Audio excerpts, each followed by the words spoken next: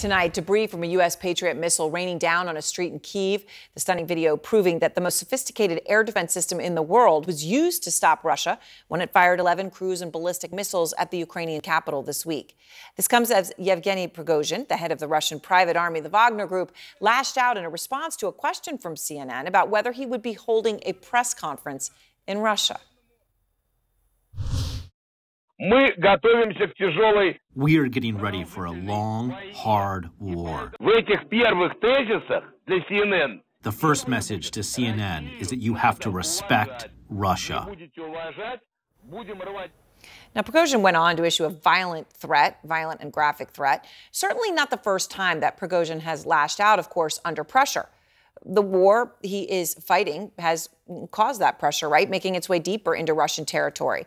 Drone and artillery attacks inside the country are on the rise, so much that Vladimir Putin's top propagandist is now saying that nuclear weapons should be used to destroy Elon Musk's Starlink satellites, which is the crucial technology that Ukraine uh, is believed to use to launch drone strikes.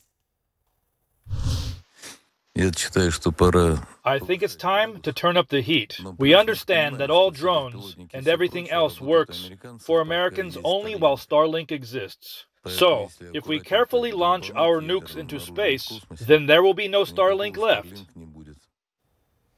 Sam Kiley is out front. Ukraine's not claiming responsibility for these attacks inside Russia. But if Kiev gets blamed, that's just fine. There's more to come. А воно і вже дивіться, воно не от-от, воно вже йде. The number of incidents is constantly increasing, not only in the border areas, but also in the depths of Russia. It's already happening. The scale will be exponential. Here, an oil refinery in Russia's far south is set aflame, while along Ukraine's northern border with its invader, civilian areas are hit by shelling. Apartments riddled with shrapnel, commonplace in Ukraine, a new experience for Russians. Ukraine's new strategy is taking shape inside Russia. Drone and artillery attacks have hit Russian targets in an arc along its Ukrainian border provinces of Bryansk, Kursk, Belgorod, Voronezh, and Krasnodar. And Moscow's not been spared either. On the deck of a Royal Navy warship, key Ukrainian ally, the United Kingdom, gave Kiev a green light to attack Russia. legitimate military targets beyond its own border are part of Ukraine's self defense. Um, and we should recognize uh, we should recognize that. In response, former Russian president and close Putin ally Dmitry Medvedev claimed on Twitter that as the UK is in an undeclared war against Russia, any British official could be considered as a legitimate military target. Now, that would be an escalation even Vladimir Putin might resist. Now, uh, Erin, you mentioned uh, the use of nuclear weapons against uh, Starlink satellites there. That would be, I think, technically impossible. I have to say also, locally, they're not used by uh, drones, certainly not drones that could strike as deep into Russia Right. as Moscow. Uh, but this, I think, should be seen, what we're seeing in Russia, as a completely new phase of the Ukrainian uh, strategy. This could be effectively what we've all been talking about, which is the beginning of their counteroffensive. They're launching it, and they're launching it in Russia. Erin? Oh, it's just, and, and so well said. All right, Sam, thank you very much. On the ground in Ukraine tonight. And out front now, I want to go to Andrei Soldatov, a Russian investigative journalist. His latest article details the Kremlin's panic over the increasing number of anti Putin Russian exiles living abroad. So, Andrei, I want to play more from Prigozhin, who told CNN that he and his allies speak directly to the Russian people because he says Russian state media is trying to hide the true reality of the war. Let me play another brief clip here for you. We discuss how to best convey an honest agenda to the Russian Federation population about what is happening, so as on the one hand, not to sow panic, and on the other hand, to mobilize society and not to mollify it, as some, including the federal media, are currently doing. Andrei, what do you think he is doing here?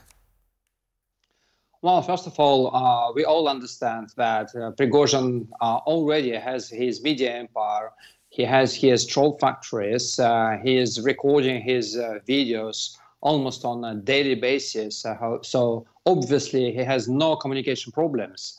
So it is about something else. And I suspect that he is sensing that Vladimir Putin, well, very soon will have no choice but to start preparing the country uh, to entering into the next stage, uh, to switch uh, to the war mode. And for that, uh, there would be a substantial effort, uh, including mobilization and tightening the rules. And it's quite obvious that Prigozhin wants to be part of this uh, effort. And he is, he does has his own ideas, for instance, to mobilize elites by sending their kids to the battlefield. So he's, uh, he's very resourceful. So, in your new article, you talk about a growing number of anti Putin Russian exiles and that the Kremlin uh, is, is very afraid of this and has been attempting to stoke a paranoia among them, perhaps of what's, you know, killing them or poisonings or who know what it, what it may be. Um, but that the Kremlin has this worry of enemies plotting abroad. What more are you learning? Well, we see that uh, there, is, there is a combination of things. Uh, first of all, this attacks on Moscow has a huge, uh, profound psychological effect yeah. on Muscovites and on the Russian elites. Everybody immediately remembered that uh, 23 years ago, uh, well, uh, what helped Vladimir Putin to become president was fear felt by many Muscovites, because back then, and I remember that vividly, uh, there was a series of attack on civilians in Moscow. So Putin promised the Russians, uh, well, to protect them. And that is why so many Russians decided to sacrifice their liberties, civil liberties, uh, in exchange for this protection. And now there is no protection and there is no liberties. And everybody understands that, including the Kremlin. That is why they're getting paranoid and we hear uh, reports about more poisonings and uh, more attacks uh, on Russian political opposition in exile.